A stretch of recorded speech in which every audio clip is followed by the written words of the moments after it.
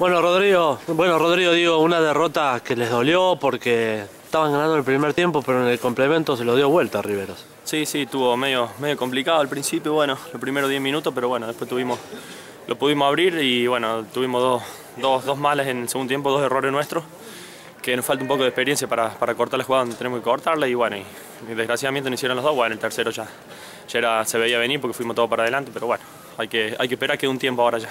Eso es lo bueno, ¿no? Que todavía tienen chances para dar vuelta el, resultado. Sí, sí, ahora hay que, hay que ir allá confiado al lugar y nosotros supimos revertir varias, varias veces estos resultados, así que ganando 1 a 0 se puede, se puede dar vuelta y bueno, habrá que, que pensar, trabajar bien en la semana para, para ver los errores que cometimos y, y la, las virtudes que tenemos y saber aprovechar. Sacando los errores, ¿te gustó el partido? Lindo, entretenido, muy, con mucho ritmo. Sí, sí, mucho ritmo.